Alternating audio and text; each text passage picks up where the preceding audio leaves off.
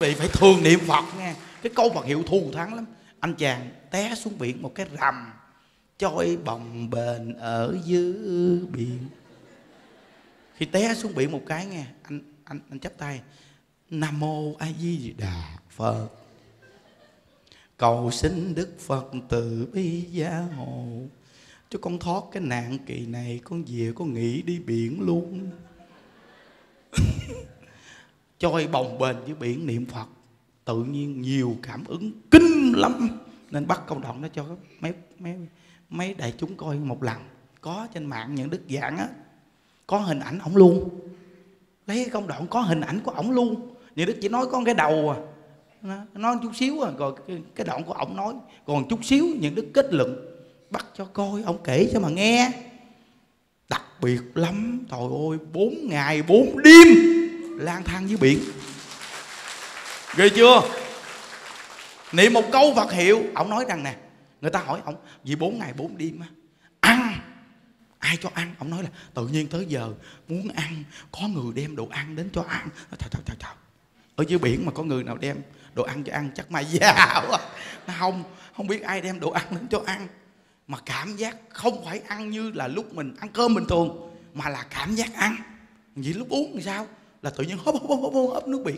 Tự nhiên lúc không uống thì nước miệng nó mặn. Nhưng mà lúc mà cần uống nước thì hớp nước biển ngọt ngay. Kinh chưa? Ông kể một trăm phần trăm luôn. Bốn ngày bốn đêm nắng ở dưới mặt biển. Biển ông nói là ở dưới biển sâu như vậy mà ông đứng giống như đứng trên bùn. Và nước biển chỉ có ngang đây thôi. Cho lạ vậy? Làm gì biển mà cạn kỳ cục vậy? Vậy coi kinh không? Quý vị thấy niệm phật một câu phật hiệu cảm ứng gì đó nó quá thù thắng. Nghe mà nó mê. Không biết niệm phật thù thắng phải không? Nó bây giờ ông nổi tiếng luôn mà. Mà đúng là câu phật hiệu hay thiệt. Vừa niệm một câu phật hiệu nói cho người ta nghe, trên mạng bây giờ tập trung âm âm âm âm âm đến không vắng ông. Cuối cùng tiền bạc cho ông quá trời luôn. Bây giờ khá. Chưa. Niệm phật vậy có phật hiệu tới bây giờ mà nhiều người ta đến tìm ông nhà báo nó chụp hình luôn. Thấy chưa? Mà những đức giảng đưa ông vô luôn. Bây giờ nổi tiếng. Một ngày, hai ngày là vài trăm ngàn người coi. Ổng tự nhiên vô tình nổi tiếng. Kiểu này chắc nhiều người cũng nhảy xuống biển. Người ta đó là bất giờ người ta niệm phật người ta niệm phật cảm ứng. Chứ mình mà cố tình vì danh lợi mà nhảy vô nó chìm ngủng cá mạch nó vớt mình luôn nó cho biết cái nghe sợ không? Nó này mà nhớ đó nó thấy không? Cái chuyện cảm ứng niệm phật với thù thắng chưa? Nên con Phật hiệu phải nắm cho chắc. Có một đứa bé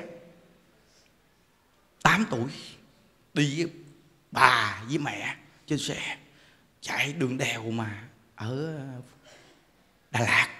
Đèo quý vị biết đèo gốc cao. Anh anh anh đứa bé giận giỡn sao? Rầm cái gì tới? Đứa bé gớt xuống đèo. 15 thước ghê chưa? Mình bây giờ cũng tan sát cái chừng nữa đứa nít 8 tuổi. Xong ẩm đứa bé lên. Máu miệng máu mũi. Ốc ốc ốc ốc ốc ốc, ốc ra. Mẹ nó biết niệm phật nói nó chết là chắc rồi. Thôi kêu xe đến đưa lên xe đưa lên bệnh viện tùy duyên trên đường niệm phật. Nó có chết đi được tái sinh tốt đẹp. Niệm phật tới bệnh viện tự nhiên à, mở mắt ra mẹ hỏi có sao không con? Dạ không. Kinh khủng chưa? Đưa vô bác sĩ khám coi có nội thương không? Khám, bác sĩ nó không có nội thương. Lục phụ ngũ tạng sao bác sĩ? Bình thường. Chảy xước miếng, chảy máu một chút xíu. Vì máu ở đâu chảy ra? Ọc máu độc ra thôi. Kinh khủng thiệt. Rớt 15 thước bà dẫn đứa bé đến gặp những đức luôn. Bà nói, thầy coi nè, đeo máy niệm phật, té 15 thước, mà không bị một chút nội thương, ọc máu ra mà bác sĩ nói, ọc máu độc. Kinh khủng không trời như vậy quý thấy câu bật hiệu chưa? Không chịu niệm phật nó niệm cái gì? Không tưởng tượng được luôn cái gì, ngoài sức tưởng tượng à bây giờ chúng ta chỉ nói cho những người niệm phật chúng ta tin tưởng thôi. Còn người nào không tin thì thôi đừng có coi. Hiểu chưa? Bây giờ mình nói để tăng tính tâm người niệm phật quý vị coi đó.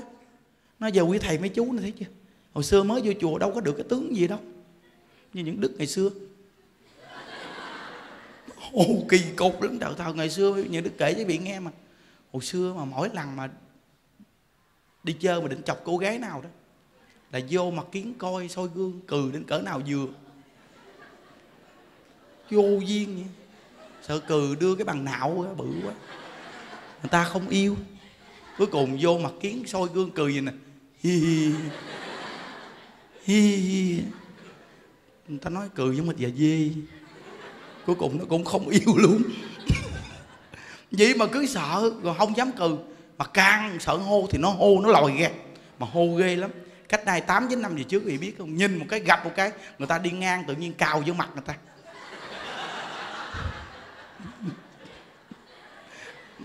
Ta quay lại ta nói trời cái thứ tôi gì mà dê thế ghê nói. Dạ đâu có đâu, đâu có dê. Hỏi sao kỳ không. Đi ngang quơ ngang là đụng thôi. Chứ đâu có gì kinh hồng hô đến mức vậy luôn. Cuối cùng tu từ từ từ từ. Không bị cái hô câu thúc. À, nhớ nhớ cái câu này hay nè.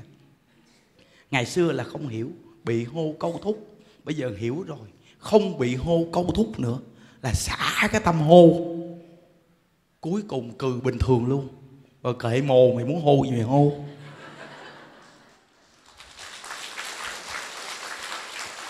Tâm vui vẻ bình thường Thấy không? Tự nhiên giảm hô. Các cụ coi giờ đỡ hô cuối cùng. Đúng không? Rõ ràng đỡ hô phải không? Còn có cái cái cái, cái chú đó ông vô chùa ông bị mớm chồng mớm mới sộm luôn. Mớm mới đôi cái miệng nó đưa tước vô trong cái cạp đưa ngoài nhìn. Ông nói, con khổ tâm với cái mớm này đâu thầy ạ mặt gì nó gãy kỳ cục. Ai có đau chân, thẳng chân không sao? Thẳng chân sau chân. Mớm mà nó nói cào đưa ra, cái miệng nằm tuốt ở trong, còn mình thì lòi ra, ổng đút tuốt tuốt trong. Vì cái cuộc đời nó vô duyên thế ghê. Mình thì mình muốn vô một chút, còn chả thì muốn đưa ra một chút. Thằng mớm, thằng hô gặp nhau. Mình nói tôi nè, tôi buồn vì số phận bị hô nè. Ông nói, con con buồn số phận bị mớm. À đồng cảnh ngộ. Ông đừng có buồn. Tôi ngày xưa tôi buồn, tôi hô ác đạn bây giờ tôi ông nghe lời tôi, ông đừng có buồn gì mớm nữa. Ông hãy bình thường với cái mớm đi. Nghe lời. Một năm sau, ông nói, ông lời ông nói, cảm ơn thầy. Trời ơi, bữa nay nó đỡ mớm, thầy coi con nè, thầy. Ủa, sao mặt ông này ngon vậy? Nè nghe lời thầy, niệm phật vui vẻ bữa nay đỡ mớm mà thầy ơi. Đặc biệt ghê chưa? Chỉ có vui thôi đỡ mớm mà con Phật hiệu này hay lắm nghe mình mà hô là mình niệm nó nó, nó xích vô. Găng như đức ngày xưa thưa lắm mấy vị mà niệm giờ nó khích lại. Chứ đâu có đi câu găng gì đâu ngày xưa hay găng găng phía trước ta tưởng là găng thưa nói dối. Mình nói tờ ai cũng nói mình nói dối chứ. Trong khi mình nói thật mà mình niệm từ từ từ này khăn găng nó khích lại một chút nghe nói dối nói dối chứ làm gì găng thưa nói dối. Ai muốn nó thưa đâu. Hiểu chưa? Vậy mà cuối cùng mình niệm viết mặt cái người hô thì biết niệm phật nó đỡ hô là sao biết không? A di đà phật. A di đà phật. Không không, nó đè vô nè, đè vô đè vô. Mà quý vị không có nghĩ nó đè vô, mà tự nhiên sao á, nó vô từ từ. Ngày xưa răng như tức là nó đưa ra gì nè? Đưa cái gì nè? Mà bây giờ từ từ nó co lại. Ồ chưa? Nó đỡ hô còn cái ông kia ông mớm tuốt vô trong vậy mà từ từ nó nở ra. Ừ, thấy chưa? Vậy mà ông lộn nó còn cảm ơn thầy thế ghê chào chào nói cảm ơn phật cái pháp này của phật để lại. Nói, nhưng mà thầy hướng dẫn nhờ thầy mà hôm nay con đỡ mớm mà thầy ơi. Nó thấy chưa? Đặc biệt không? Còn có một cái cô trong chùa nghe bà bị lé. Tối ngày mang cái mặt lé. Bà nói bà không dám gặp ai mắc cỡ gặp người là tránh chọn cái nghề gì biết không? Lau nhà vệ sinh. Để không thấy ai. Thêm cái nữa là gì? Dọn dẹp xào đồ để không thấy ai. Cuối cùng càng ngày càng lé. Tại vì sao? Tránh người mắc cỡ, lé luôn. Mặt từ từ buồn hiu, cái mặt bự ra, gan gan cái tấm thớt. Kinh khủng không? Những đức nói, bây giờ những đức khuyên cô nè, từ hôm nay không buồn gì lé nữa, cười lên. Bà nói, được không thầy. Cười lên. Cô cười thử coi, Ê. cười kỳ cục quá, thôi kệ, cười là được rồi. Gán cười lên.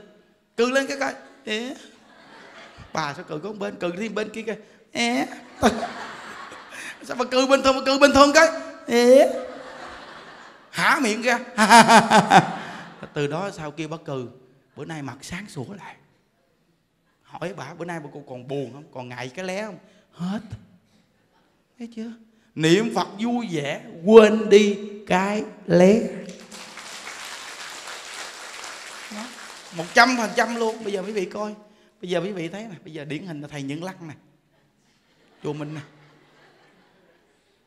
Hồi xưa mà mới vô tu á, nhìn như đúng là thư sinh áo dài à, nhìn một cái là thấy nết na đầm thắm.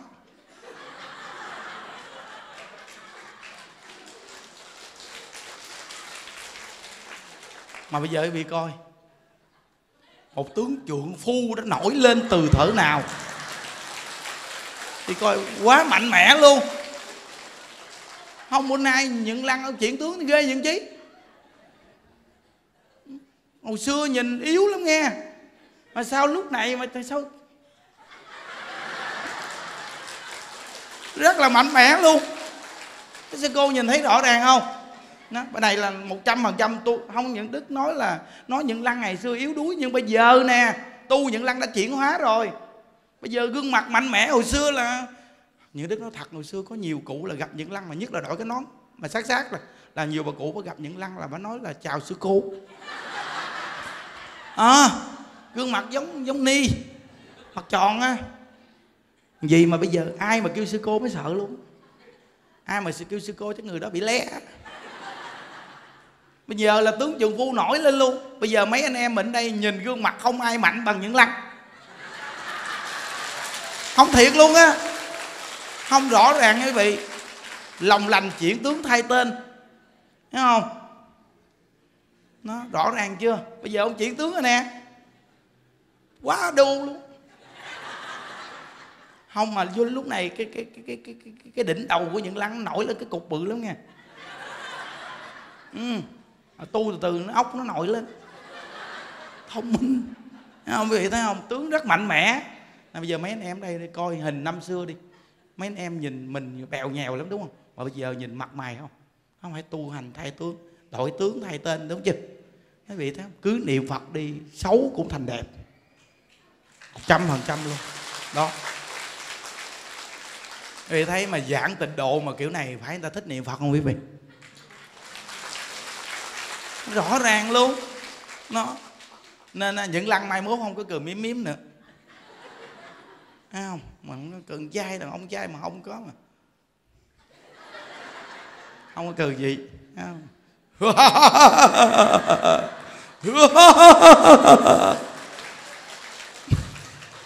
Không. Thấy không? Đi thì phải tay cung là lợn ha chỉ đạo mấy anh em mấy anh em. À, coi lại đây đây đây, đây, đây biểu. À, bữa nay chúng ta sẽ à, lót gạch cái chỗ này nghe không? Chỗ này phải lót để cho nó đàng hoàng. À, coi à, đi chỉ là cho nó được nghe không? Làm xong dọn dẹp sạch hết à. giờ chiều anh em mình ngồi à, ăn bánh uống nước đồ chơi nha nó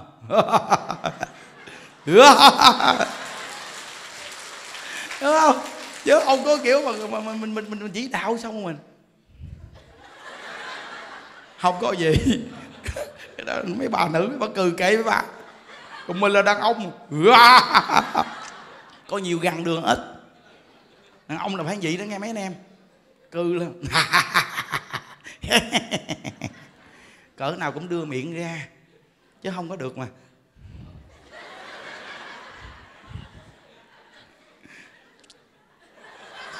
Vậy là có được nghe ừ mình đàn ông mà vậy nó yếu lắm. Nữ mới vậy. Nữ thì người ta mới. Hiểu đúng không em em, nó giống như ngày xưa cô gái chạy tóc bên bờ ao. Ngồi trên bờ ao. Hiểu không? Nó than thùng còn bây giờ mình là nam di đại trưởng phu mà. Ai. Ừ, ừ nó mạnh mẽ lên. Từ đó đó không giảng mà làm cho người ta vui vì thấy không? Trời nhìn xuống chúng sao ai cũng đẹp quá trời vậy trời. Một nụ cười còn 10 thang thuốc bổ mới bị thấy hồi nãy giờ cười bao nhiêu nụ cười chưa? Bởi vì những đức mà hôm qua các cụ cũng trông đúng không? Các cụ. Thầy qua thầy làm mình vui đúng không? Các cụ. Nó bây giờ mà cười kiểu này rồi khỏi cần ăn gì nó cũng no. Này lưu bu quá, không có mua gì cho các cụ. Nên nói chuyện cho cụ cười nhiều, nãy giờ đâu có đói đúng không cụ? À.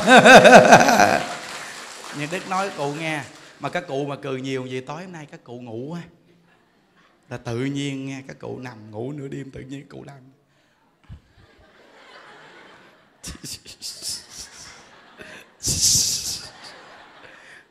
tại vì sao? Bằng ngày nghĩ gì bằng đêm nghĩ nấy. Thấy không? Bằng ngày mình cừ nhiều gì là chút tối ngủ mình cừ. Không kệ thà cừ còn hơn là ô ô ô. Mới mà kiểu đó thấy ghê lắm á cục có một cái ờ, chú này hồi chiều ừ, ông gặp như đức ông hỏi một câu. Thầy thầy tuy con mỗi mỗi ngày con niệm phật nhưng mà tính, tính tình săn hận của con giận trách nặng lắm mà con cũng niệm phật.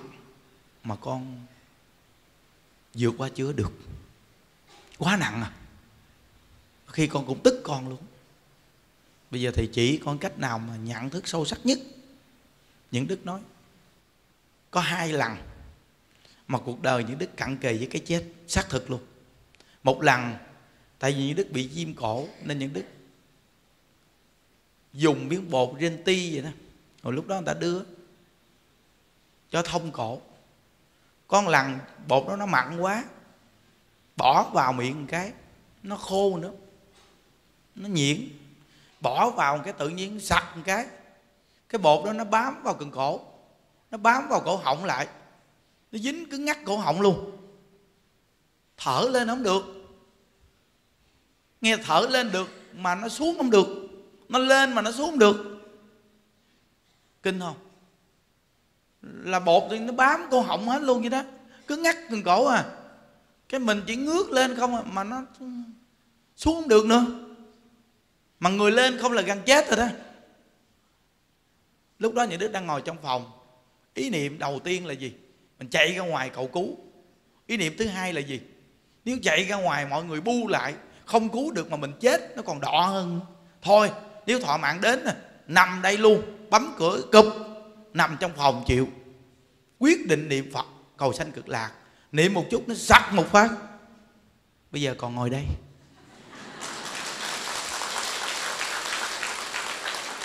Không? một lần. Một lần tổ chức chương trình khiếm, khiếm thị mới đây nè. Vừa tổ chức chương trình khiếm thị xong dọn cơm sẵn hết trơn. Lên ăn cơm. Lên ăn cơm thì lúc đó thường những đức không có cắn ớt mà thích dầm ớt từ xưa giờ ăn ớt, chưa bao giờ cắn ớt. Mà phái cái mùi ớt là phải dầm miếng nha không? cái tự nhiên chấm rau vào, cái nó dính cái cái cái miếng ớt dầm vào. Thì nhai chung luôn, nó sặc ớt một phát. Tự nhiên nó sặc ớt một phát, một cái tự nhiên cái à, nó cứng hận ngắt cuốn họng mà. Mà lúc mày bị gần chết nhớ nha là nó gì nè?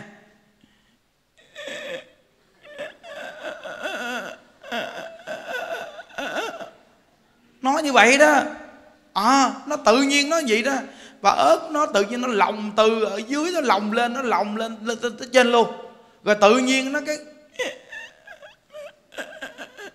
kế bên là chú tùng đứng, chú tùng bên kia, chứ không phải bên đây. Thì chú tùng đứng ông như con gà mắc đẻ. Bây giờ của mình mà ai giúp mình? Của mình mà ai giúp mình? Thì lúc đó mình như đức ngồi trên ghế mà nó, nó thở không có được. Mà mình mình cảm giác mặt mình nóng lắm gì nó. Nó như vậy thì cái mặt quý vị nó sẽ đỏ lắm và mắt quý vị sẽ chảy nước mắt liền. Đau đớn lắm quý vị không đơn giản đâu. Thì trong tâm niệm như đức nói lúc này mà cái lúc này mà để tìm sự sống thì là chết chắc. Tìm sự sống nó làm cho mình tim bị đập mạnh thêm dồn dập và sợ hãi. Thì nó làm cho mình lúc đó mình nếu chết đi thì không có giảng sanh đâu. Thì lúc đó những đức ngậm miệng lại. Ví dụ như mở miệng thì làm nè. Và ngậm. Là chỉ còn một chút hơi thở để mà niệm có vật hiệu để chết thôi. Ngậm miệng lại, niệm. Niệm trong tâm của mình là để cầu sanh cực lạc thôi chứ không còn nghĩ sống nữa. Tại vì mình là người niệm phật, ý niệm cuối cùng rất quan trọng. Thì niệm một phát nó nó tự nhiên phình ra một cái tự nhiên nó thở lại bình thường. Rồi hết chưa? Đó là hai lần cận kề cái chết. Nó cực kỳ là tích tắc luôn. Khi mình trải qua những cái giai đoạn như vậy, thì mỗi một người mình hãy tự hỏi lại chính mình. Quý vị, lúc đó còn mang tâm giận gì nữa không? Còn cái gì mà không buông trong những giây phút đó? Xong những đức vừa nói với chú này xong, những điều đó những đức nói chú có muốn sanh cực lạc không? Ông nói, con thật sự, cái cõi đời này con ngao ngán quá quá nhiều cái khổ thầy à. dù là con không phải nghèo gì mà cũng khổ nữa. Khổ trong một gia đình. Nên con gặp tình độ, con niệm phật, con muốn sanh cực lạc. Những đức nói à muốn sanh cực lạc. Như vậy thì chú mang cái tâm kia đi theo chú thì khó sanh cực lạc lắm. Bây giờ những đức hướng dẫn chú tự nhiên nó sanh ra tư tưởng, nó hướng dẫn ông này mà mà nhà đức nhắc cả đại chúng nên làm luôn nè. Ngày nào cũng bỏ ra thời gian hai, ba phút. Thì quý vị nghĩ chắc bản thân mình nín thở không được phút đâu, đúng không? Thì vị thử nín thở đi. Chơi thật á, nín thở đến lúc mà sắp chết rồi coi là ý niệm mình là ý niệm gì? Ngày nào cũng nín thở khi mình sắp chết một lần. Ấn tổ thì dùng cách là dán chữ tử trước mặt để nhìn. Mà có lần gặp cái ông đó qua chùa hộ pháp tu, ông không hiểu ý của ấn tổ. Ông ra ông xăm cái chữ tử ngay cái chán. Thì trong sách thì có để treo ngay chân mày, dán ngay trên chán đó là cái văn tự thì chứ tổ sư mà. Ai tự nhiên treo cái chữ tử ngay lưng chân mày? Dán ngay chán rồi thôi ai mà làm cái kỳ cục ấy mình mà làm để coi người ta nói mình khôn hay khùng. À, mình thấy mình khác thường rồi đúng không? Ý là ăn tổ ngày dán cái chữ tử ngay cái điểm mà ngài dễ nhìn nhất.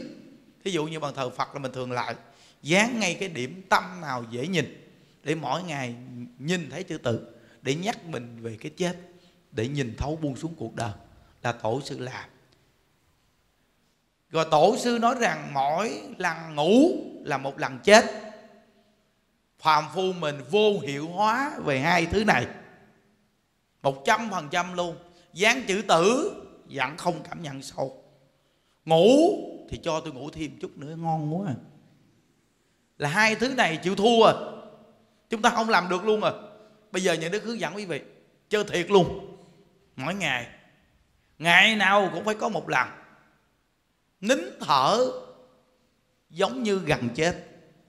Chơi thiệt luôn. Rồi mang ý niệm cuối cùng khi gần chết là niệm gì? Để tập thành thói quen. Khi cận tử nghiệp cũng là nín thở. Rồi nhất định sẽ niệm phật cầu sanh cực lạc chắc chắn luôn. Tại vì sao? Quý vị hãy để ý. Con đường nào chúng ta đã từng đi qua, đi lại hoài thì con đường đó chúng ta sẽ quen. Còn con đường nào mình chưa từng đi qua thì nhất định mình sẽ không quen con đường đó và sợ con đường đó, đúng không? Như vậy thì con người chưa từng cảm giác đến cái sự chết thì con người này thường sợ chết. Còn một con người thường tập chết thì con người này sẽ quen đối với cái chết. Tại sao chúng ta không tập quen? Đối với cái chết. Để khi cặn tự nghiệp đến với mình, chúng ta sẽ rất tỉnh táo khi cái chết cận kề. Đa phần con người khi gần chết, chúng ta rất nhiều ý niệm mà lúc còn sống chúng ta chưa làm xong. Bây giờ chúng ta hãy tập khi mình gần chết. Ý niệm gần chết mình là ý niệm gì? Nên tập nên tập nên tập từ đây cho đến ngày mà mình sẽ chết. Cái này quan trọng. Cực kỳ quan trọng luôn. Nên làm đi cả những đức hướng dẫn ông đó mà từ nay những đức sẽ làm ngày nào cũng sẽ có một lần hai lần làm điều này. Tại vì nó có một phút hai phút mà. Nín thở mà. Không được phút đâu. À, bây giờ gì nữa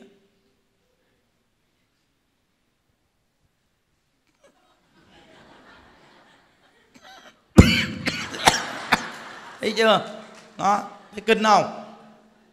Đó mình chơi mình nín thở một phát thử nó làm sao. Nó cái nín thở của mình lúc đó, cái nín thở cho nó bình tĩnh để bản thân mình nhận thức được điểm nào mình chọn. Tại vì nhất định cuộc đời mình sẽ gặp chỗ đó. Không có ai mà tránh khỏi cái chỗ mình sẽ không thở được cái gì. Không có tránh được đâu, sớm muộn cũng gặp à.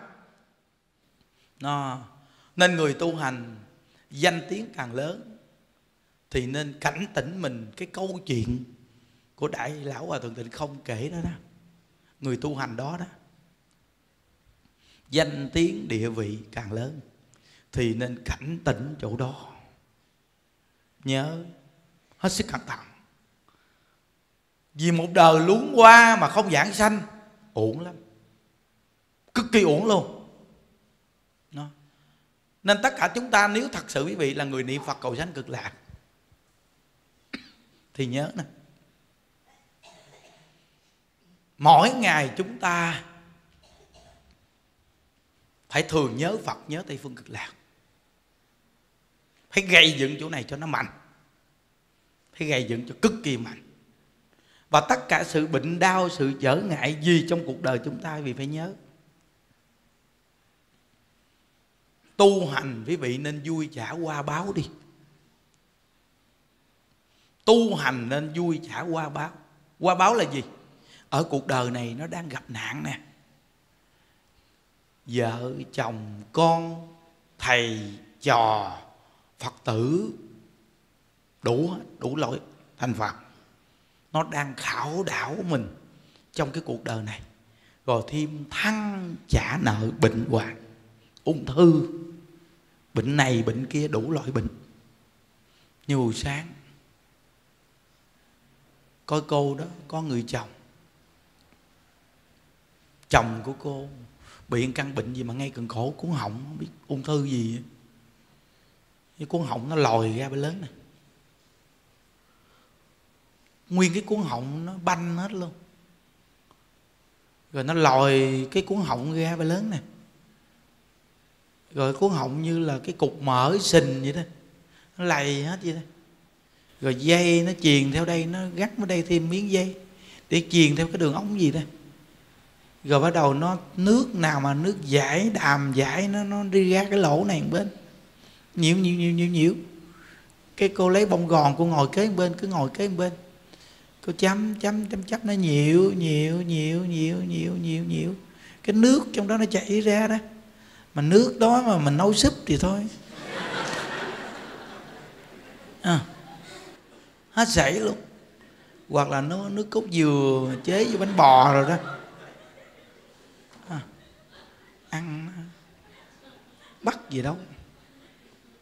Nhìn cái cần cổ kinh khủng thiệt.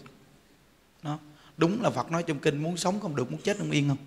Nhưng quý vị nhớ mỗi một người chúng ta ngồi đây từ người tu tới người cư sĩ hàng phật tử mỗi người chúng ta có khi mình cũng gặp những chặn bệnh như vậy.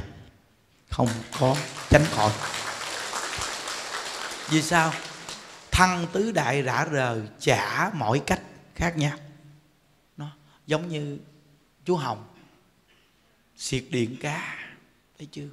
Vì chờ vợ vì con, xiệt điện cá, vì biết rằng xiệt 10 năm chú hồng chồng cô hải chưa ở bên hộ pháp. Thấy quả báo hiện đời không? Tu hành phải quả báo hiện đời không? Một trăm phần trăm luôn. Quý vị biết rằng ai đã từng siệt điện cá thì quý vị sẽ biết. Dù con ếch nó lội.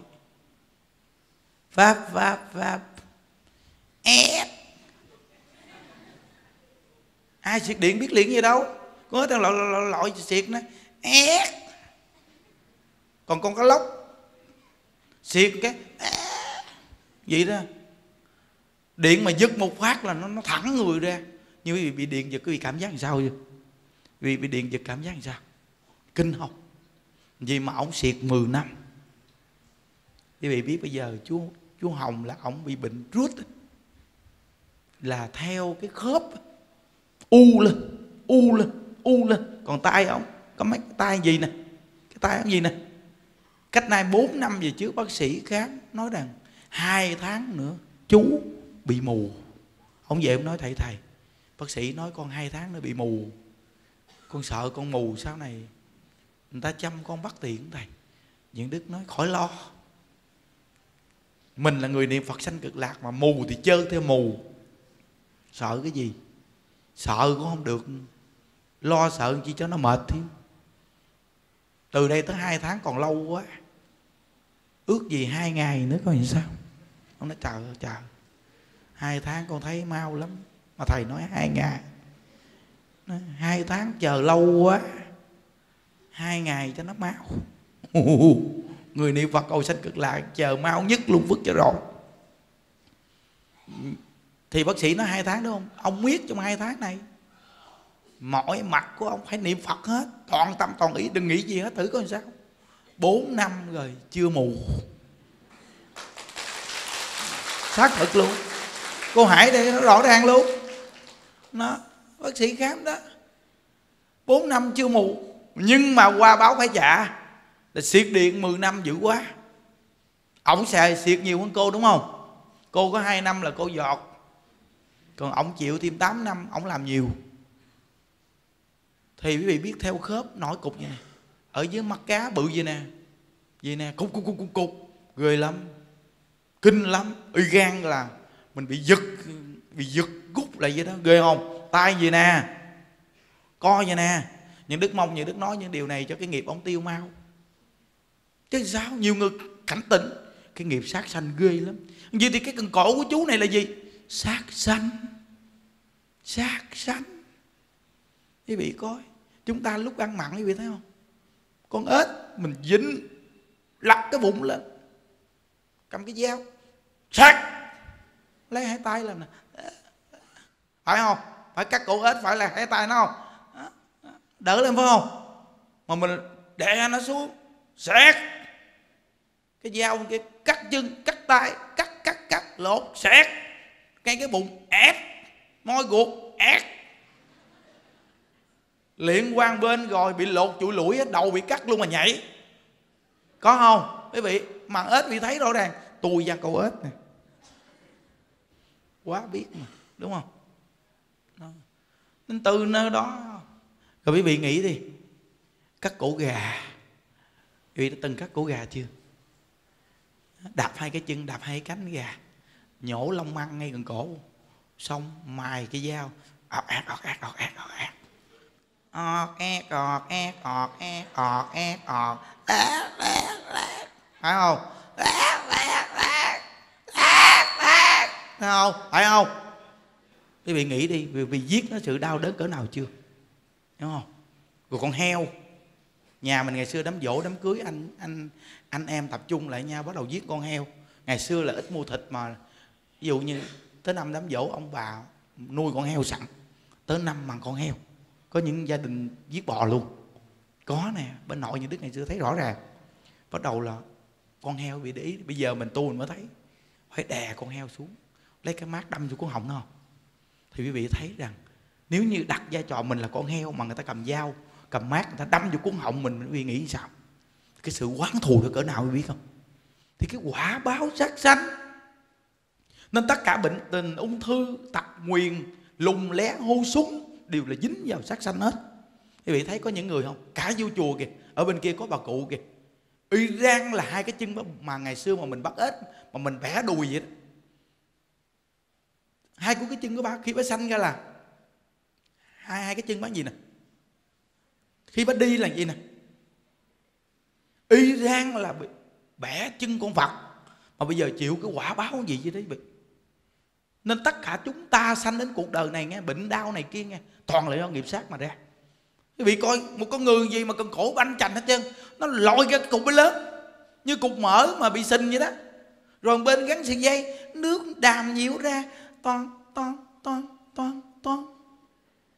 Kinh không?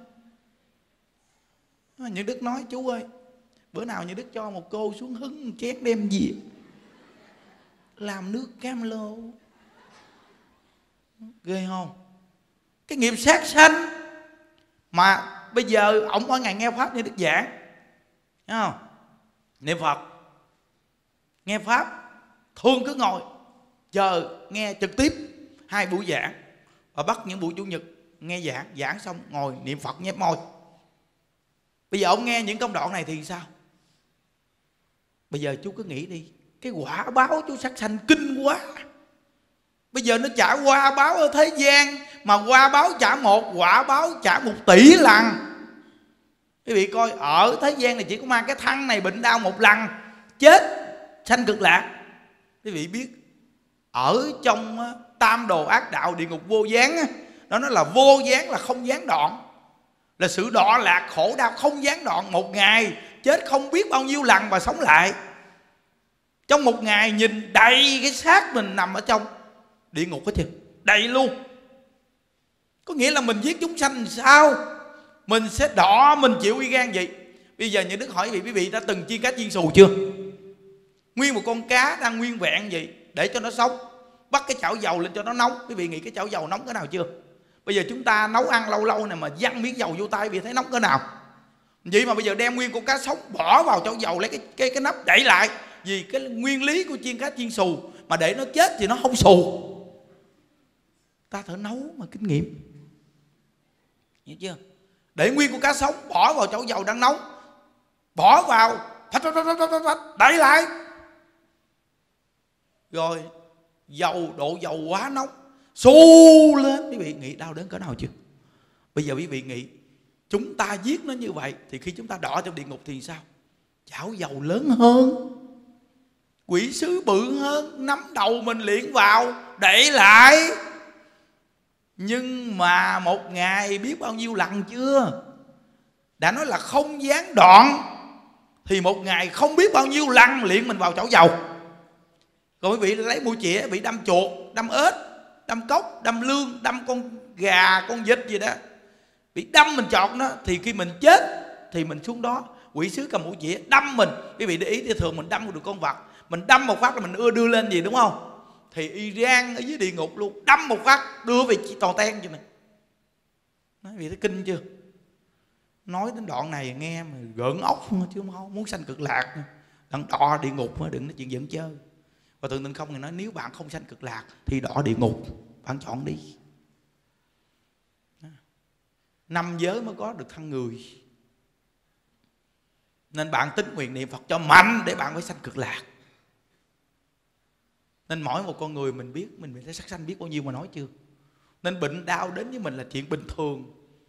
Nhờ tu đó, nó bây giờ nó chuyển thành bệnh nhẹ nhẹ đó. Thì thấy những đức thuyết pháp mỗi ngày xài chỗ nào ảnh hưởng chỗ đó. Ngày nào cũng thuyết pháp nói chuyện âm âm thì còn khổ đau, cả từng nay. Bữa nay mới hồi phục được chút. Nhưng mà liền viết một là cổ kim cang, hai thì nó lan. Chứ làm sao? Nếu cần cổ này mà liền như vậy mà sau này là cần cổ mạnh luôn. Hết động đậy nổi rồi đó. Tại vì nó luyện dữ quá. Một tuần khang tiếng dẫn giảng pháp bình thường. Hôm qua làm nguyên ngày, năm buổi. Mấy đứa nhỏ nữa hai buổi của mấy cô. Với hai buổi sáng, một buổi chủ nhật, sáu buổi luôn. Đúng không? ngày nay, sơ sơ cũng được bốn buổi. Mà tiếng bữa nay hơi khỏe nè. Tiếng này ngon đúng không? Đó. tiếng ngon. Đó, gan.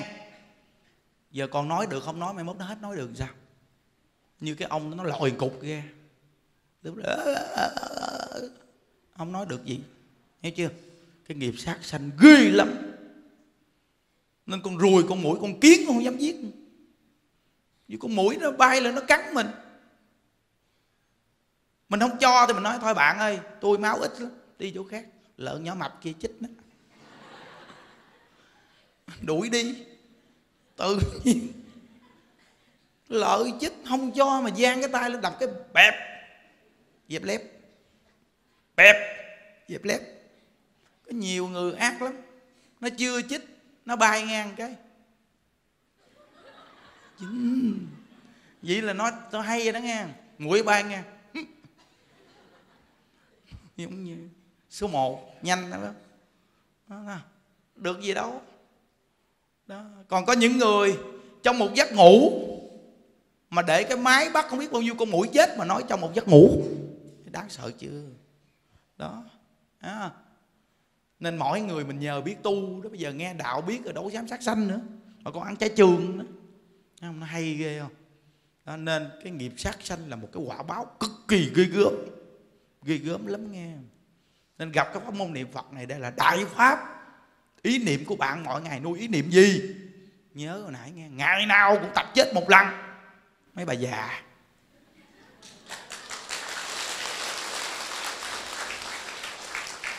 Ngày nào cũng tập chết lần đi.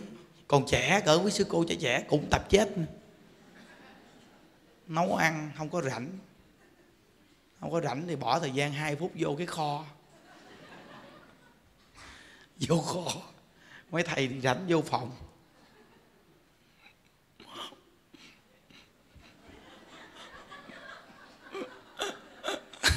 Thì ghê giờ là tao.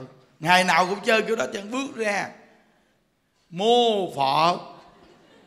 Từ hôm nay không dám giận hờn ai nữa hết trơn. Nè. Còn mấy cái bà mà dặn chồng đồ đó, nghe gì rồi về làm cái. Mô phật. Từ hôm nay thi chủ không dám dặn chồng nữa, thầy ơi hiểu không? Ý niệm nó cuối cùng nguy hiểm quá, biết không? Đó, ngày nào cũng tập gì đi là hiền liền à. Hiền liền à.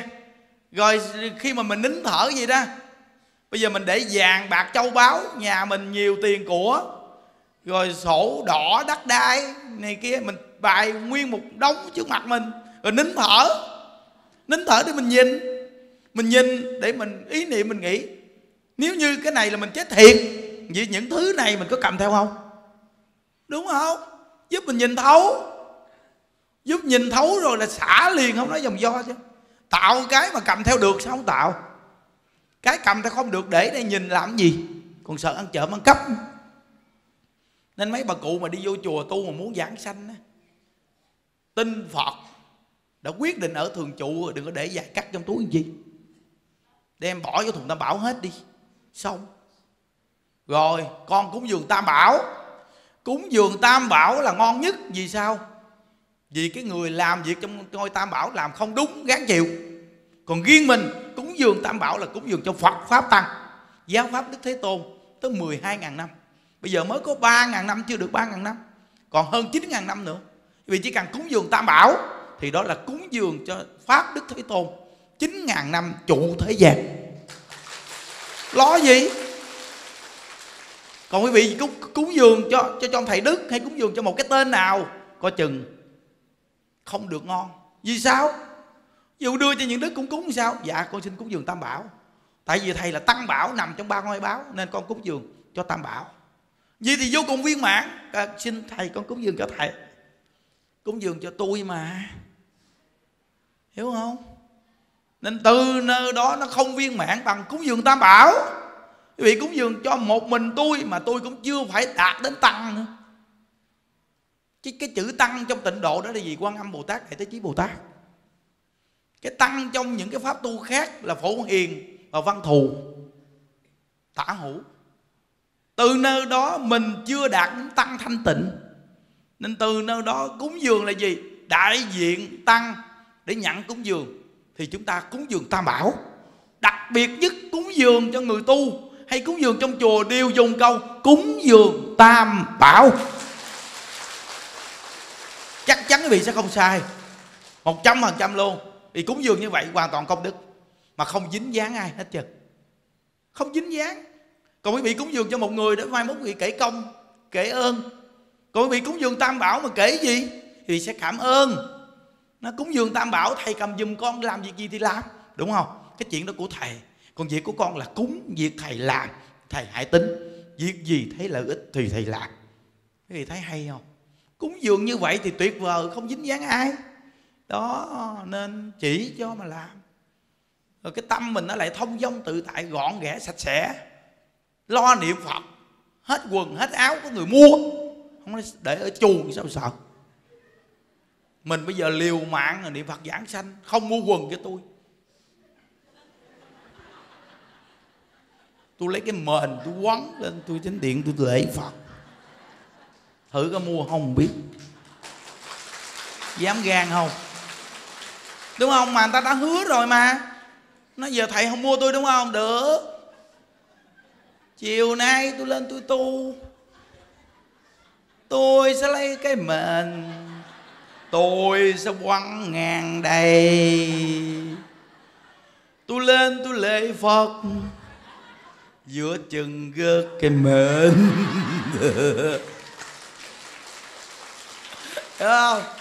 Gán chịu. Phải đi mua đồ cho mình là sợ gì? Đúng không?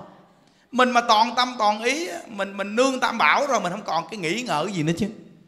Cuộc đời của con từ hôm nay là nương náo tam bảo. Tâm này mà tu vậy thì chắc chắn phước báo mình lớn, cực kỳ luôn. Không có thiếu cái gì hết chứ. Yên tâm đi còn nghĩ, ơi, cúng thì cúng, nói thì nói vậy thôi. Để dành chút đỉnh lỡ tu được gì. Nó dội xong luôn. Bó tài tu không được gì? Làm gì tu không được? Người ta tu được làm gì mình tu không được? Không có cái lý tu không được. Chết, được không? Chết mà còn được, làm gì tu không được? Đến lúc chết chúng ta cưỡng lại cũng không được nên cuộc đời con người nói với phái nữ nè, ai đã, trong đây đã từng đẻ?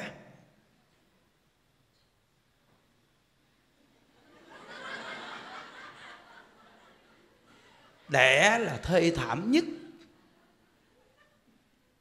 Trong kinh, có bộ kinh nào nói tu là thập tử nhất sanh không? Không có. Mà kinh du lan phật nói là đẻ thập tử nhất sanh đàn ông đi biển có đôi, đàn bà đi biển một coi một mình, dí là người đẻ. Một mình phải chịu đựng. Mà như đức hỏi rất nhiều phụ nữ luôn. Như đức hỏi, mấy cái, mấy cô đẻ khổ không? Và nó không có cái khổ gì bằng đẻ. Thấy chưa? Vậy mà quý vị còn dám đẻ. Vậy tại sao quý vị nói tôi không được? Mà ngày xưa có những người người ta đẻ 12 đứa con gia đình những đức làm xui có một gia đình đẻ 15 đứa. Chắc cái bà đó có 15 cái trứng. Phải vớt hết luôn. Ghê không? Mà đau khổ như vậy vậy mà đẻ. Kinh thiệt, phải không? Vậy thì làm gì tốn được? Bây giờ trong cuộc đời các cụ các cụ đã thấy bao nhiêu cái gian nan trong cuộc đời chưa? Khổ cỡ nào? Bây giờ vô đây làm gì mình không chịu đựng được các cụ? Muốn giảng sanh, chịu đựng được hết.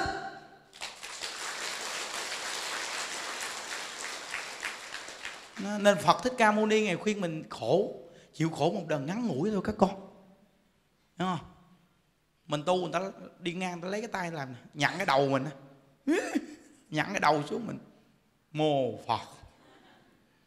Nhăn thêm cái nữa. À gì đà phật. Nhăn cái nữa mình nói nam mô a di đà phật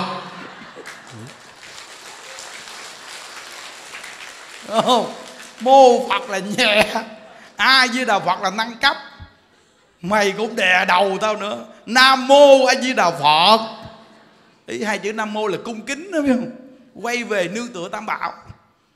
Còn mình tưởng nó định lực mình cao quá, mô phật. Chưa được. A di đà phật là một danh hiệu. Mày cũng không buông tha. Nam mô a di đà phật. Hiểu không? Nó, nên quý vị nhớ.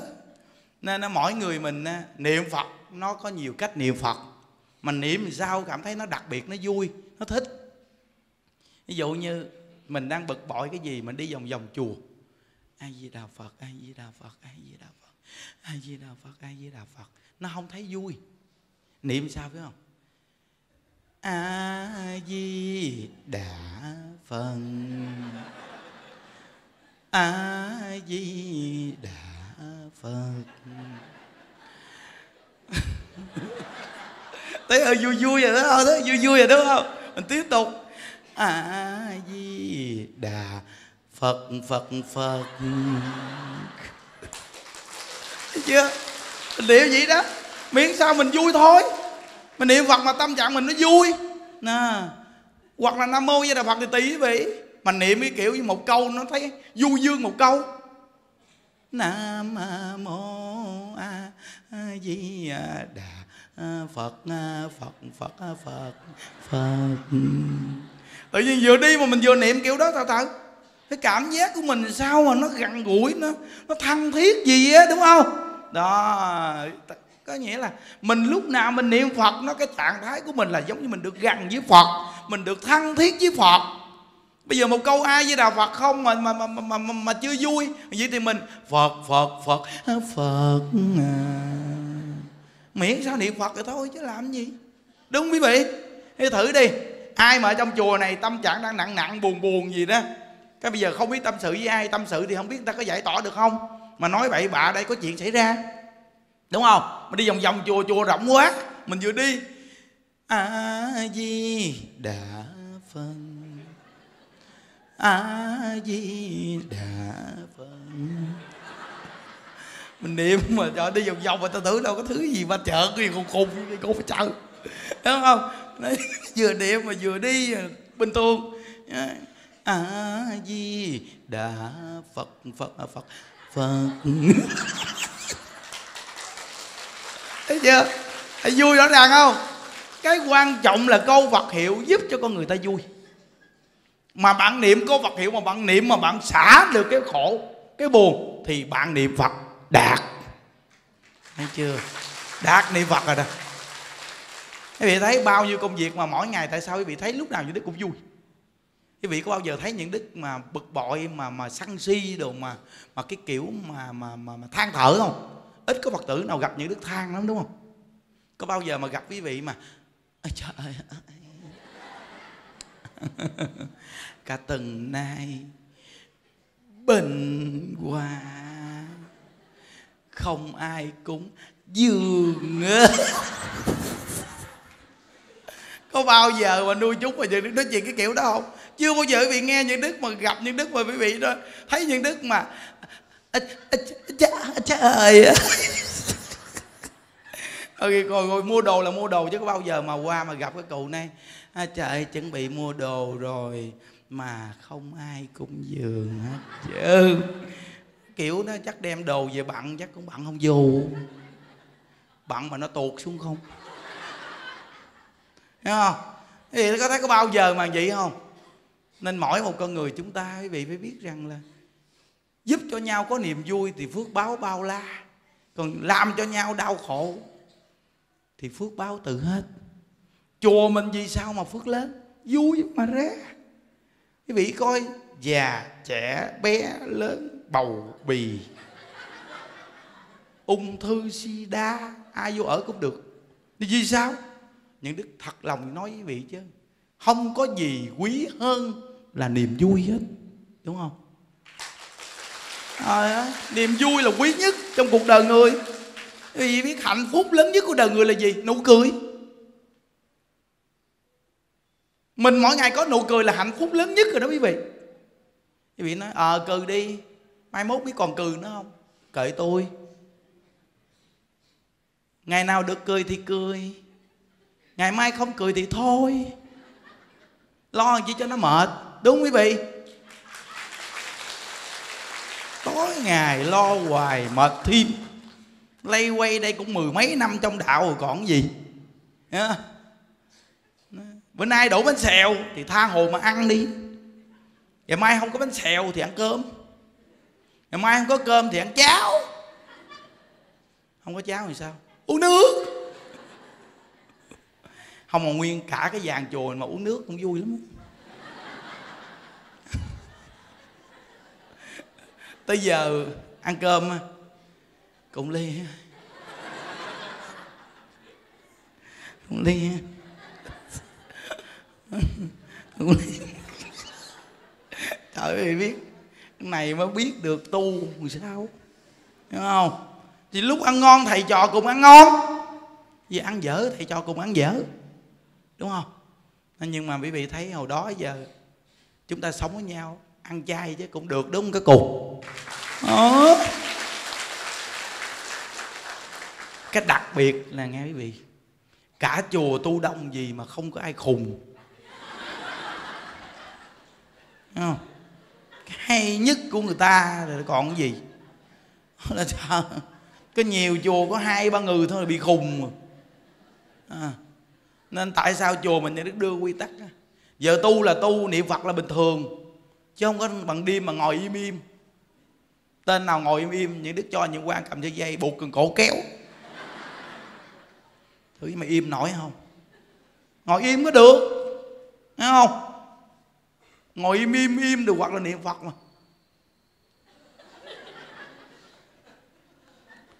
Niệm kiểu đó có chừng ba trợn. Giống như có cái ông kia đi đến chùa mình.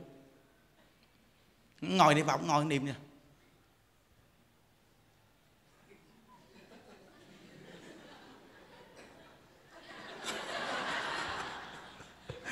Như đứa kêu những ăn như đứa thôi thôi thôi. Mờ từ nơi nào đến, trở về nơi đó. Hỏi chú từ đâu đến đây? Ông nói nuông cấm nói, về nuông cấm đi. Về đó ngồi mình với chim. Ở đây không có niệm kiểu này. Đây là niệm bình thường à. Ai với đà phật hoặc nam mô với đà phật? Bình thường dòng tưởng nhiều dòng tưởng ít, mặc kệ. Cứ niệm phật thôi, chứ không có dùng ý căn, không có thanh tịnh tâm gì mạnh quá. Cứ từ từ. Vậy đó, mà ngon tôi sợ lắm. Mấy người ngồi im im, tôi ngán lắm. Mấy người niệm thời gian, tự nhiên mấy người đứng lên. Em tàn tan tan tan tan tan tan tan trời tôi thấy nhiều quá, tôi biết quá. Đó giờ tôi gặp bao nhiêu người tinh tấn rồi thôi, tôi không tinh tấn hết trơn mà càng tu càng vui, mà càng tu càng thông minh. Còn hơn là tôi thấy mấy người mà tinh tinh tinh tắn nó không đúng mà có chừng thành tinh tinh á. Ở đâu cũng ngồi hết chứ, ngồi ngồi ngồi ngồi ngồi ngồi ngồi. Còn đi thì đi giống như phim chậm. Con làng đi qua hộ pháp con ông nó vô đi kinh hành. Bữa nào cũng đi vòng vòng ngoài sân. Nhà đức kêu vô, nhà đức hỏi, chú thấy đây có ai đi giống chú không?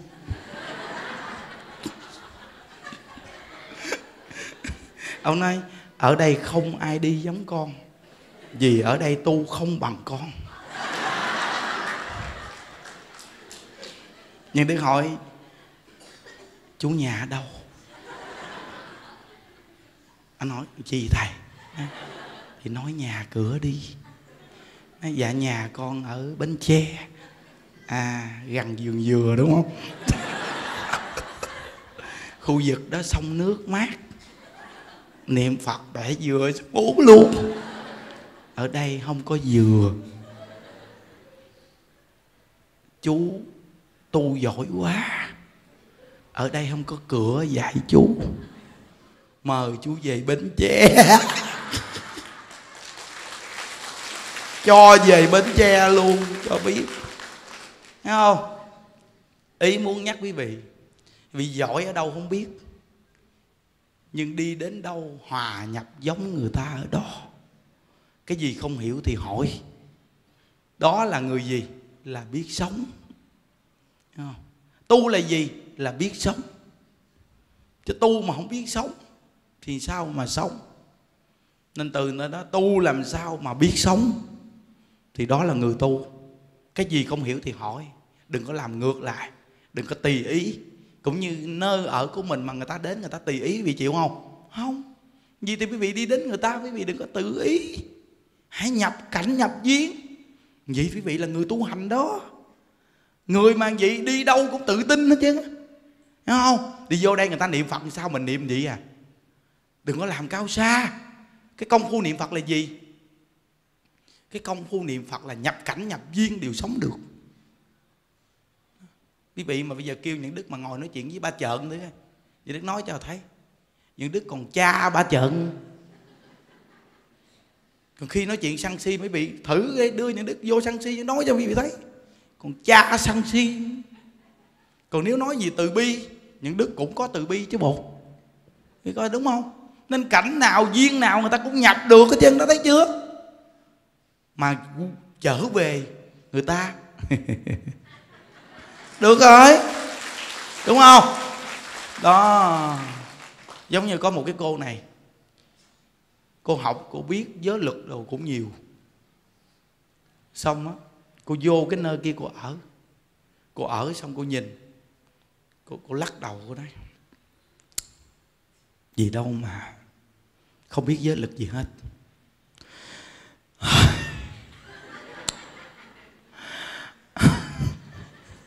Nhưng đức hỏi, ủa, sao nhìn cô kỳ à con thấy mọi người đều sai hết thầy à?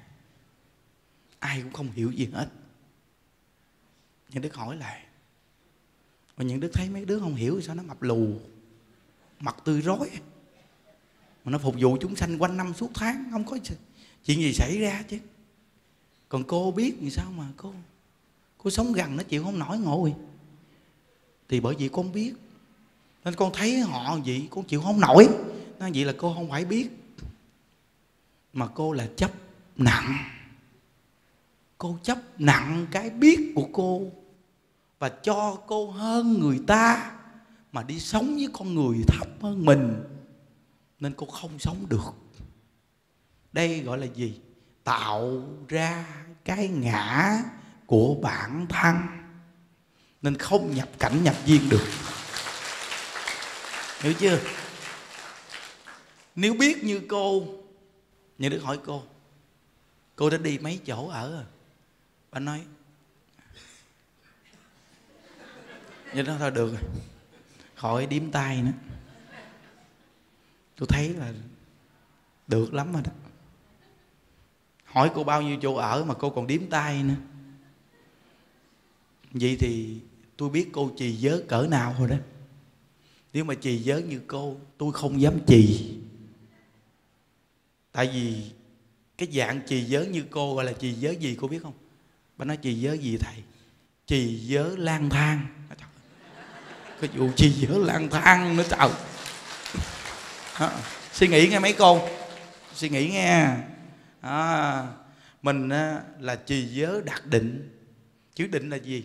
Định là trong cảnh viên nào cũng sống được là định còn bây giờ mình đạt đến cái cảnh giới trì giới lang thang. Không tôi không dám trì giới lang thang. À, hiểu không? Hà tôi không biết. Tôi ở đâu tôi cũng ở được. Tôi sống đâu tôi cũng nhập cảnh nhập viên được. Sống vui vẻ. Hiểu không? Thấy người ta bưng cơm nên ăn quay nghi tôi ăn được quay nghi. Thấy người ta ăn cơm gấp ăn gấp ăn tôi cũng gấp ăn.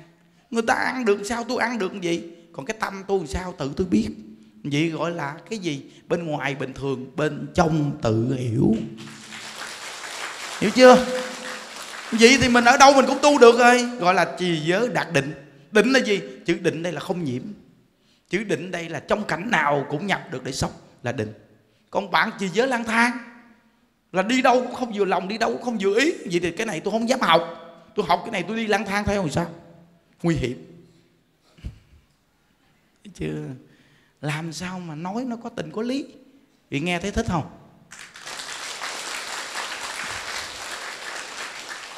Tôi hỏi mà không vỗ tay, tôi bực mình lắm.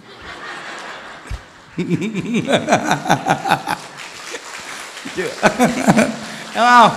Không, mà những gì mình nói là mình làm được dễ mà quý vị hiểu không? Đó, nên mong rằng nghe, các cụ trong chùa đại chúng chùa mình nghe xuyên niệm phật đi quý vị dù trong cuộc đời có gặp cảnh ngộ khó khăn gì, cứ nắm câu phật hiệu. Ôi ôi, hồi chiều gặp bà già kia, bà nói một câu, mà mẹ của hạnh đây nè, mẹ của hạnh. Nói rõ ràng luôn. Thầy thầy, hồi xưa chưa tu của thầy nhất bình lắm thầy ơi. Đi là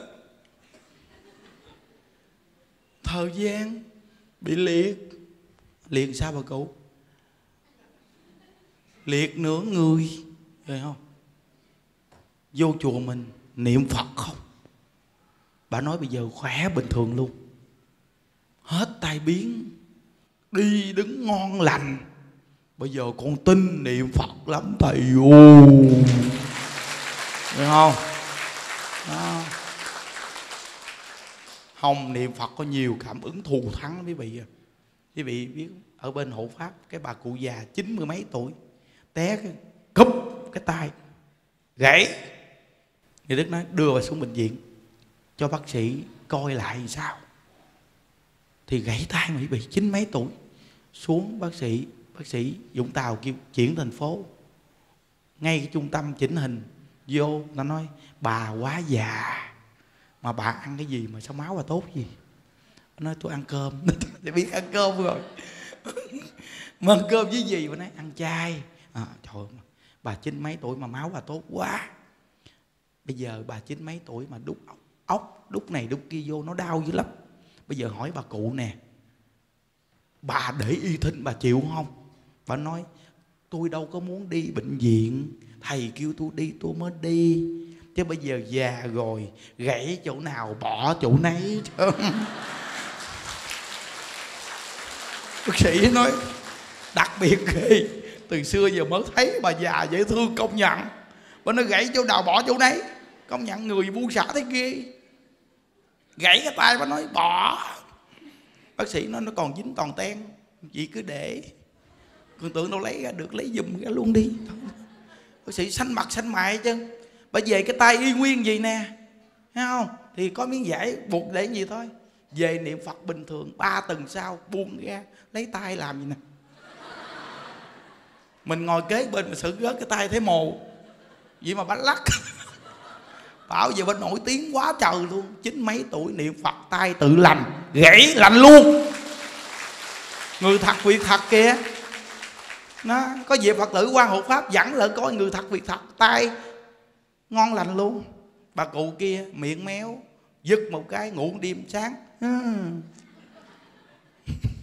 nhưng đức nói, ủa, sao sáng nay miệng bà kỳ không biết sao? Kỳ cục cái miệng, kỳ cục kia bé nó thử coi. Ừ. không được thầy ơi.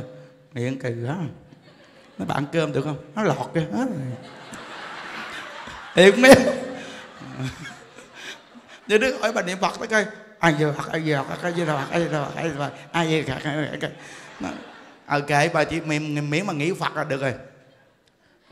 Đâu mà bẻ nó thử cái này nó kỳ cục quá trời. À, xong những đức ngồi bữa nào sáng cũng qua chơi với bà. Nhưng nói bà thử nha bà thử thí nghiệm bà vui nghe vui nghe vui nghe. Bà đừng có buồn với cái bị méo miệng nghe. Chắc nhiều đời nhiều kiếp cũng chữ chồng chữ con nè chữ con này con nọ chữ cha chữ mẹ nè. Bà nói ờ, không biết đời nào mà chắc đời này đâu có chữ. Như đức nói nhiều đời nhiều kiếp. À, à, không biết đời nào nhưng mà đời này không có chữ. Nói là à, ok đời nào không biết nhưng mà chắc chắn có quả báo này. Bây giờ đời này nó mới méo miệng bà đừng có buồn nghe. À, không có buồn đâu à. Nhưng nó nói đâu, đâu bà niệm phật bà niệm phật rất là có duyên. A di phật a di là phật a di là phật. À, những đức nói bà cười thôi coi. Chỗ là méo miệng ờ bà thường cười nghe chứ bà cười hoài nghe. Ba tuần sau tự nhiên cái miệng. Còn méo mà làm gì nè? Những đức qua bà gặp những đức nói thầy ơi! Nói gì? Miệng đỡ méo ừ nó coi đấy coi à đúng rồi đỡ rồi đỡ rồi. Được sáu bảy mươi phần trăm mà được rồi đó. À, cố gắng. Bây giờ bẻ được chưa? Bà nói được. À, được được được nhẹ bớt rồi nó nghĩa là những cái cơ nó thông bớt rồi là nhờ cái tâm bà vui nó thông cơ thông gan nuôi dưỡng tế bào bệnh khỏe lại thấy không? Bây giờ bà, bà tập theo những đức nghe chỉ bà bây giờ ngày nào lúc rảnh bà cứ niệm phật và dùng cái cách này ai phật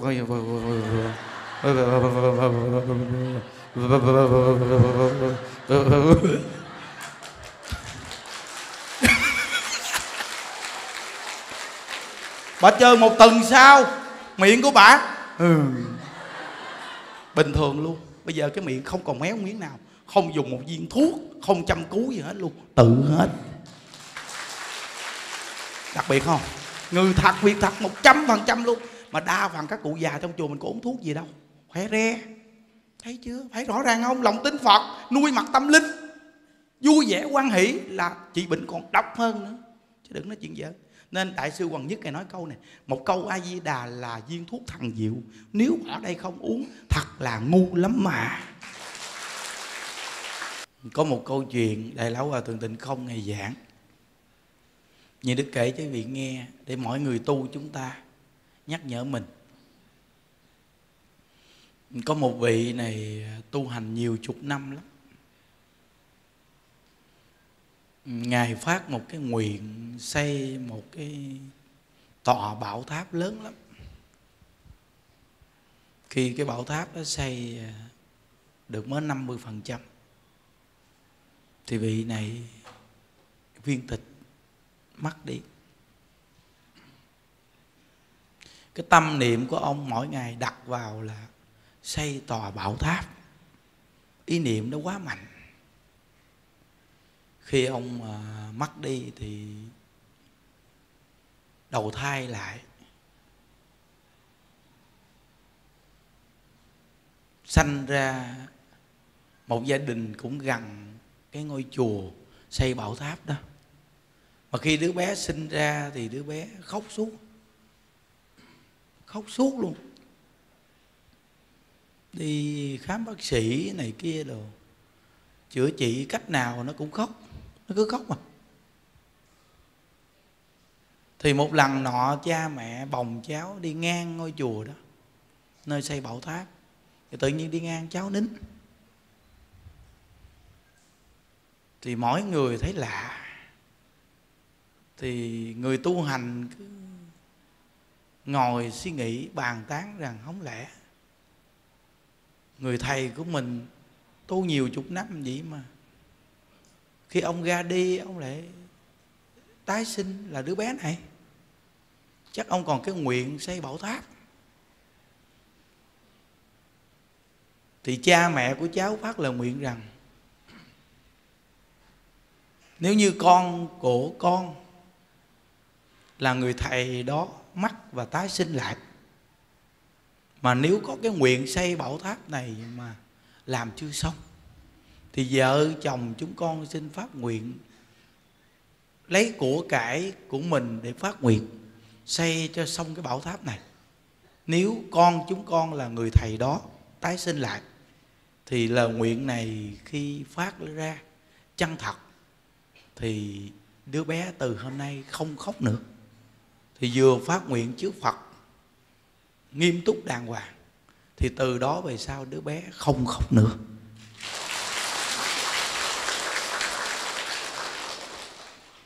Thì quý vị mới thấy là cái ý niệm của mỗi người chúng ta quá quan trọng không? Bây giờ, mỗi một người ngồi ở đây và những người có đủ duyên, nghe được công đoạn này tu phật hay không tu phật gì nghe cũng có kết quả hết.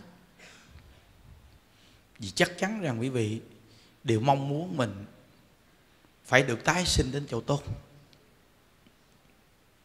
vì có những người không học Phật, họ nghĩ rằng chết là hết thôi. Chứ bất cứ một tôn giáo nào cũng đều có nói về định luật nhân quả. Chết không phải là hết, chắc chắn luôn vậy thì khi có thân người và mất đi, chúng ta rất mong muốn mình có lại cái thân người mà phải thân tốt hơn, đúng không? Vậy thì cái ý niệm, nó là điểm nhắn để đưa chúng ta đi đến cái chỗ tốt hơn hay là xấu hơn là do ý niệm. Bây giờ mỗi một người tu, chúng ta mỗi ngày niệm phật cầu sanh cực lạc đó, nhưng quý vị tự hỏi lại lương tâm mình, dù là người xuất gia hay hàng cư sĩ tự hỏi lại lương tâm mình. Đối với danh lợi, đối với thương ghét hận thù, quý vị còn những ý niệm nào mạnh nhất? Và so với niệm phật, cầu sanh cực lạc, thì những ý niệm nào mạnh nhất? Nếu như mỗi ngày quý vị dặn hẳn trách quá mạnh thì chắc chắn tam đồ ác đạo chúng ta có phần là chắc luôn. Ý niệm nào của trần cảnh mạnh nhất thì quý vị đi vào chỗ đó. Nên ý niệm phật mạnh nhất thì nhất định quý vị sẽ sanh cực lạc. Tự xem lại thì mỗi người mình nhất định sẽ quá giải cái tâm hận thù. Vì mình quá giải cái tâm hận thù lúc mình còn sống, để nó không gieo cái niệm cái cuối đời. Nếu như mình bây giờ mà còn mang cái tâm hận thù, mà ý niệm này nó cấu kết đến khi cặn tử nghiệp, thì nó đẩy mình vào tam đầu ác đạo làm sao? Nên chúng ta phải quá giải cái tâm này liền, phải quá giải cái tâm này liền chứ không có để thời gian được. Trong một ngày phải giải quyết liền. Nếu không giải quyết trong một ngày, biết đâu đêm nay chết thì sao? Nên niệm nó nó quá mạnh, thì chắc chắn nó đẩy mình vào tam đầu ác đạo. Cũng như người tu hành đó, tu nhiều chục năm, nhưng ý niệm về cái việc thiện là xây bảo tháp. Quá mạnh, giữa chừng mất đi, tái sinh lại. Thấy chưa? Mà tái sinh lại là cái việc tu hành cũng không đơn giản. Ăn Tổ nghe nói rằng, khi người tu hành tái sinh lại sẽ có phước. Sanh vào gia đình quyền quý, hưởng thụ quá, có khi lạc cái tâm tu, không tu. Đời thứ hai có phước, phần nhiều đời thứ ba đọa lạc, nên phải cẩn thận ý niệm quan trọng lắm. Nên bài học tập chúng ta là ý niệm của đời người quan trọng nhất là gì? Hãy tự mỗi người xem lại. Chúng ta đang niệm gì mạnh nhất? Mỗi ngày gầy dựng cái chỗ nào mạnh nhất? Mình đã phát tâm đi tu, mình phát tâm tu là mục tiêu. Mình nhìn được cái cuộc đời này quá khổ, quá nhiều cái khổ. Bây giờ có những người giàu thiệt là giàu đi chăng nữa, mà cả đời họ vẫn là khổ vì vật chất. Có nhiều người người ta ông này bà nọ luôn, người ta vẫn là bận tâm, bận trí, người ta không có thời gian được rạch rỗi. Cái đầu óc như thế. Rồi cuối cùng một hơi thở thở ra không hít vào. Cái gì là của mình đâu? Vì mà cả đời mình là bồi dưỡng cho được chỗ đó. Bây giờ mình là người nghe đạo rồi nè. Mình nên xem lại, mình nên chọn. Hôm qua có con bé đó 25 tuổi ca nó cũng đang làm việc công ty rồi này kia. Mỗi ngày nó nghe những đức giảng. Xong nó nghe, nó bình tĩnh, nó suy nghĩ kỹ lại. Nói, ti là con làm có tiền. Nhưng cái có tiền của con, cuối cùng con nghĩ rõ ràng à. bây giờ không có gia đình cũng không được. Mà dù có giàu sang phú quý cỡ nào, cũng bị đeo mang trong một gia đình. Từ khi nghiệp duyên bị trói buộc ra không được. Cho bây giờ con có cơ hội thoát được. Con không nhào vô làm gì con xin cha mẹ con hết rồi. Gọn công việc lên hết, phát nguyện đi tu luôn. Vào phục vụ nuôi người già. Cuộc đời có ý nghĩa hơn. Mạnh dạng phát tâm luôn mà cũng sáng sủa lắm á. Ừ. có trình độ học vấn luôn. Từ nơi đó mà mỗi một con người mà mình chọn con đường đi tu là cái góc độ mình phải chọn, phải hiểu nên mới nói rằng sự chọn lựa còn quan trọng hơn cố gắng. Phải chọn nhận thức cho sâu sắc suy nghĩ cho thật kỹ. Rồi đã chọn rồi đi cho tới luôn. Không có nói rằng là mà, mà lùi lại đâu. Chỉ có tiếng à tu hành là quyết tâm chỉ có tiếng đem cái mạng này ký gỡ luôn. Khỏi cần nói mà nói cái tiếng lùi lại sợ gì nữa chứ. Phía trước thì bao nhiêu cái tốt đẹp. Lùi lại thì rắn rít sói lan rầm rì giặt mình không còn miếng thịt. Nhớ nghe. Nên đã tu hành là nhất định tu được, chỉ cần phát tâm cho mạnh. Mà chúc đại chúng an lạc nha. Ai với đạo phật. Rồi chúng ta hẹn gặp ở cực lạc nha quý vị. Rồi chắp tay hồi hướng. Nguyện à, đem à, công à, đức này. Về à, không à, tất cả. Hay tử và chúng à, sanh. Đồng sanh về, tịnh độ.